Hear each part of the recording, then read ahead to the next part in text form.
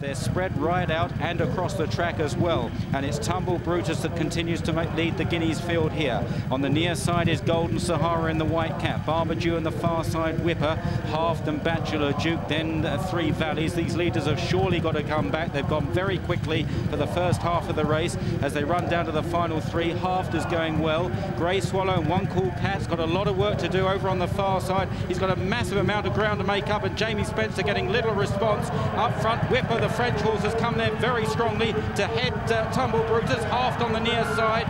Then Bachelor Duke and Three Valleys chasing these now. Salford City is beginning to find his stride down the centre of the course. They run down into the dip. It's Haafhd who made the first run here. Grey Swallow, Whipper far side. Then Snow Ridge running on. Azamour and Salford City inside the final furlong. Haafhd is cut back by Snow Ridge on the far side. Haafhd all out from Snow Ridge. They race for the line. And it's Haafhd for Guineas Glory.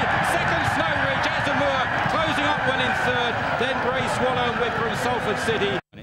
Kandidate in the yellow cap just chasing Party Boss. Party Boss leads to Kandidate, then Dictatorial and Tony James. Dubawi is close up in the all blue of Godolphin as they race through the first quarter mile. Rob Roy is also handy in the red jacket.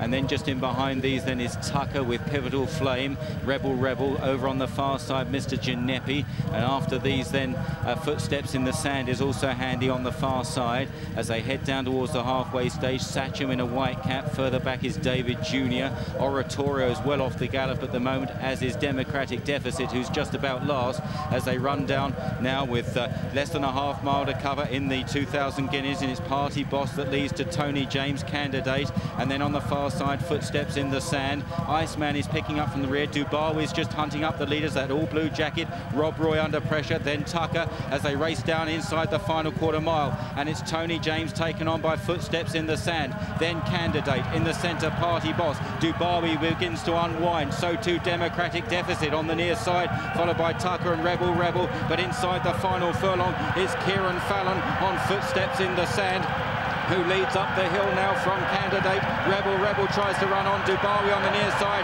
but footsteps in the sand. Giant strides on the turf at Newmarket and wins the Guineas. In second, Rebel Rebel. Third, then possibly Kandidate. It was a bunch finish.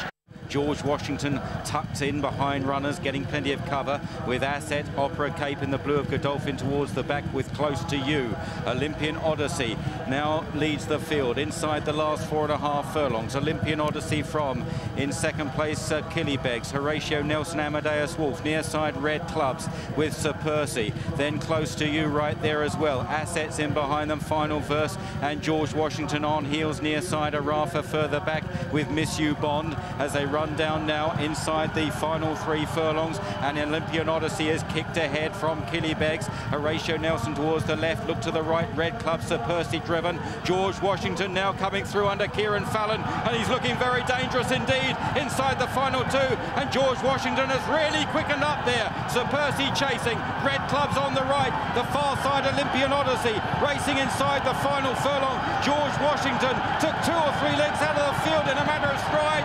Sir Percy is trying to come at him on the near side, but Gorgeous George is in front. A brilliant horse, George and Washington wins the Guineas. Sir Percy second, Olympian Odyssey, then Araafa.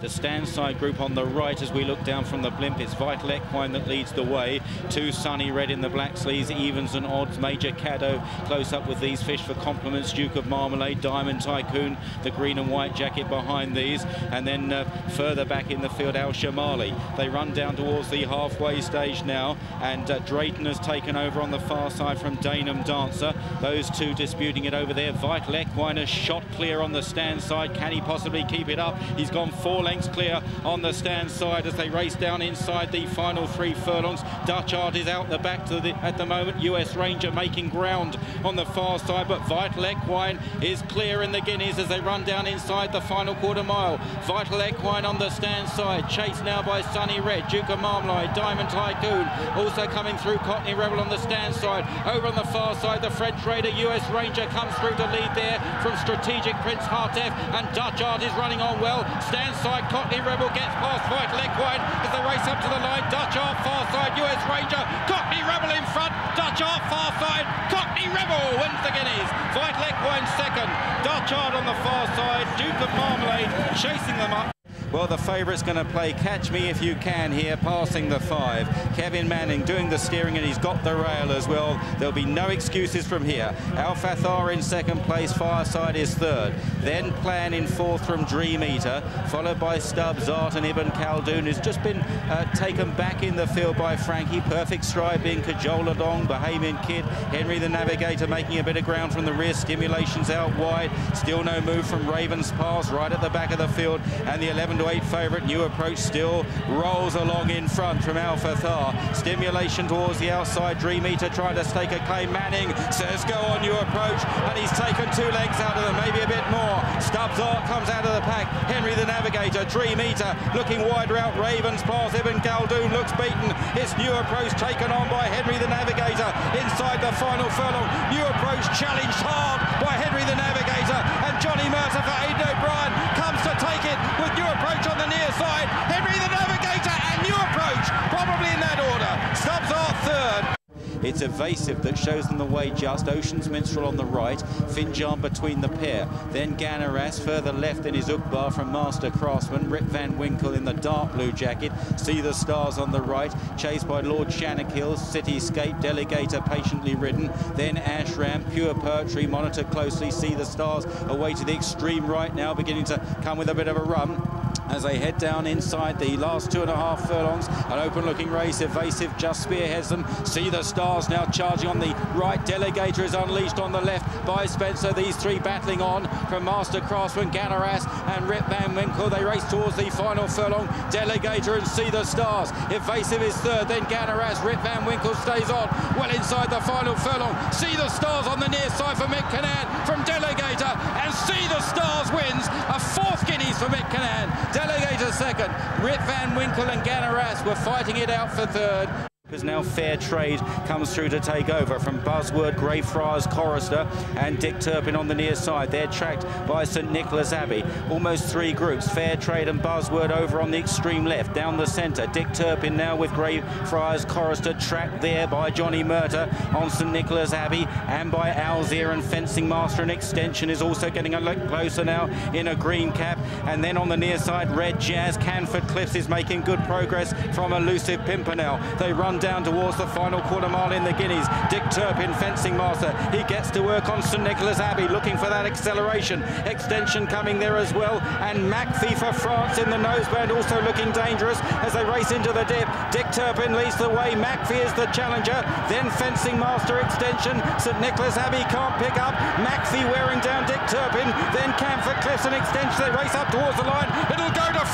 Makfi wins the Guineas. In second, Dick Turpin. Canford Cliffs is third. Frankel is already four lengths clear. He's heading down now towards the last half mile, and it's Frankel and Tom Queally by five or six lengths to Casamento in second place, and then rerouted in third. Roderic O'Connor and Slim Shady and Native Khan just in behind those. Saamidd comes next, and then comes Broox. Dubawi Gold is still at the back of the field, but at halfway, Frankel is almost 10 lengths clear. They're heading then down towards the bushes now. Frankel continues to be in a massive lead to Casamento in second place and then rerouted. Behind that is Pathfork. Dubawi Gold coming from the back of the field. But at the bushes, Frankel is 15 lengths clear. Frankel is heading down the water last quarter mile. He's making every yard of the running here. Dubawi Gold and Native Khan have moved into second and third places. Pathfork is behind in third place. Into the dip. Frankel continues to be in front. He's six or seven lengths clear to Dubawi Gold is coming to second. Native Khan in third position inside the last furlong. A horse who is pure class. Frankel has destroyed them from halfway. An amazing performance as Frankel heads towards the line to make every single yard in the Guineas and win it well. Dubawi Gold in second, Native Khan in third, Slim Shady is just in fourth and Fury in fifth.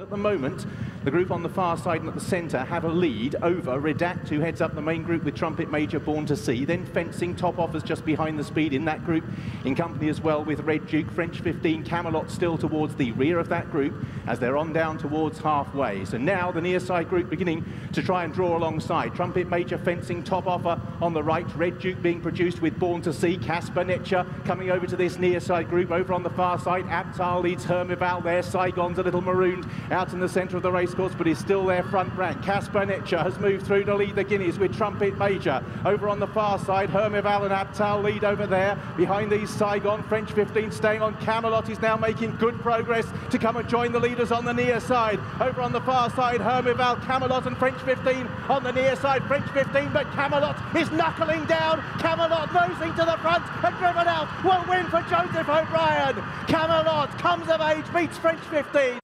They're on down towards halfway. Leitir Mor with his rider checking where the main body of the field are. Glory Awaits in second over on the far side. Dawn Approach in blue and Toronado in grey have been side by side throughout. Don't Bother Me pushed along, then Van der Neer. Mars trying to improve with a white face. Cristoforo Colombo has a lot to do from there. Likewise pushed along is Garswood. Now two furlongs out. Toronado and Dawn Approach. Lockhorns, the big two, move past Lettermore. Glory Awaits still running a blinder over on the far side with Van der Neer. Dawn Approach the blue. Toronado in grey. The unbeaten beaten horses with Glory Awaits for a shock over on the far side. Dawn Approach asserts on the climb up the hill. Toronado now under pressure. Glory Awaits is back in third place. It's Dawn Approach who's two to three lengths clear in the Guineas. Glory Awaits running a blinder as Toronado runs out of puff. But Dawn Approach, seven from seven, wins the Qipco 2000 Guineas. An important success for Godolphin. Jim Bolger